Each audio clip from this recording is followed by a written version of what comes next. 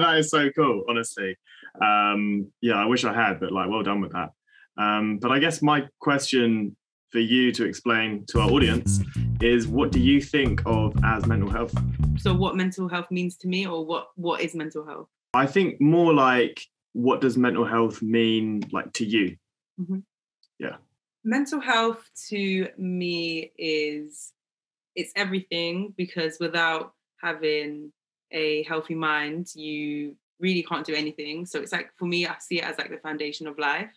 Um, and just being able to navigate um, through the trials and tribulations that life might bring you, whether in your career, your personal, your love, um, your family life. Like there's so many things that um, can throw you off balance. So for me, like mental health is a foundation to navigate that in the best way that you possibly can.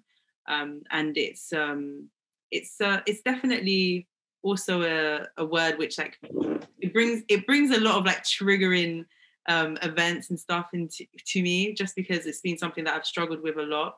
Um, so I see it almost like a timeline when I think about mental health. I see like see it like a journey um, because there's moments in my life where I have where I feel like I'm on top of things and everything's great. I'm doing my 5 a.m. CEO runs, and there's times that I'm just in bed and I can't get out like like at all, and I'm just crying and thinking, what am I doing with my life? So it's always it's funny because I feel like the the, the that word or that um that phrase has such a range of emotions attached to to it for me um from being amazing and joyous to being actually like de- uh, depressing and detrimental so it just feels like um, something that encompasses life for me um, mm-hmm. and it's also something that um, i'm working hard to manage and become a master of and just finding a routine that helps me to help myself and help others because I think it's always like a learning process and it's a pro it's a process that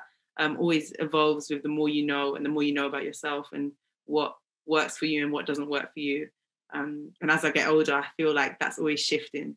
Yeah, nice. I completely agree as well. And I think one thing I did pick up on there was that you were saying like it's the good experiences, it's the bad experiences, everything. A lot of people they hear like mental health and they think oh it's all the negative. It's like it's a disorder it's a depression it's anxiety it's you know but it's also the good things. The good thing every and i think that's like what mental health is is like it's a like you're saying it's a part of your entire life. It's your experience it's your mental experience which is pretty much everything.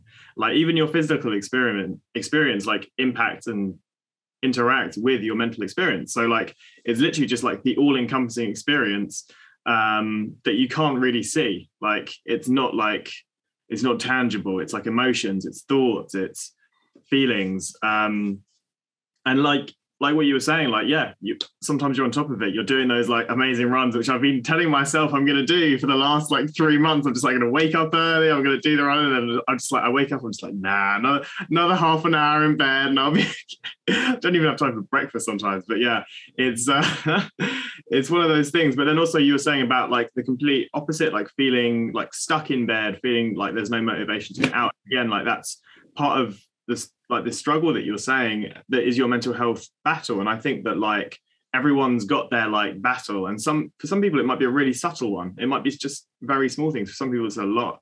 Um but i really respect that people like see it as their battle to face and and and like equip themselves with like the tools to like fight those kind of things. It's and like helping people do that which you do is like one of the best things that you can do for people really. Like you can give someone like food you can give like if they've got like a cut, whatever, you can give them a bandage or whatever. But I mean, like helping someone with their mental health, which you're you're doing with music, which we, which you've done like around the uni, like is honestly it like changes people's lives in a way that they can't even see it themselves. Like, and I don't think anyone can see it. So, but yeah. No, definitely. I, I agree with what you're saying. Um, it's yeah, a, I think I, I just wanted to pick up on what you said about um, having battles and like different battles and some people might be small and some people might be big and i think one thing that definitely came up for me is that those battles definitely change as well um, and you can start off with like small battles and then something could happen you get a phone call and you're faced with like a, a really big battle yeah. um, and that's often when people say like they didn't understand what mental health was until like they were faced with something like really traumatic and they were like oh, okay like you know mental health is actually important because mm-hmm. i think if you haven't really dealt with like like a huge hardship or adversity um, for a long period of time or like for, for in in a certain in the beginning of your life or something like that, then maybe um, it's something that you don't really think about until you you face something like quite difficult. And um, yeah, those things are always changing. So um, I think I'm just making that point just because yeah, I think it's it's okay to um, to have those moments because we will all experience them at one point or another. Um, mm-hmm. So it's okay to not be okay. It's okay to not be okay, girl. You know,